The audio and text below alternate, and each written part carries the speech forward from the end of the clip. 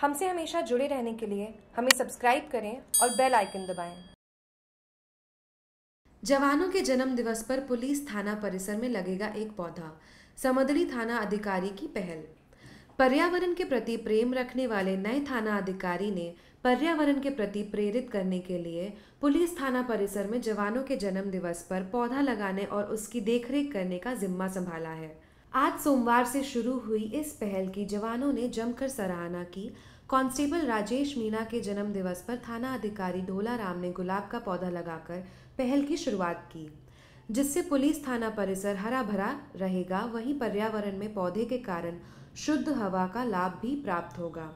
थाना अधिकारी माली ने बताया कि जिस तरीके से आबादी बढ़ती जा रही है और पेड़ पौधे कम होते जा रहे हैं, उससे आने वाले समय में पर्यावरण पर खतरा मंडरा रहा है। वहीं पेड़ पौधों से मिलने वाली ऑक्सीजन भी केमिकल युक्त हुए के कारण कम होती जा रही है। इस तरह के प्रेरित करने वाली पहल की शुरुआत करते हुए उन्होंने बताया कि पहल से प्रेरित होकर नागरिक अपने जन्म दिवस पर एक पौधा लगाकर करें तो इससे पेड़ पौधों का बचाव किया जा सकता है। इस मौके पर पुलिस थाना परिसर में समस्त स्टाफ के साथ गणमान्य लोग मौजूद रहे। समदड़ी से जागरूक टीवी की रिपोर्ट।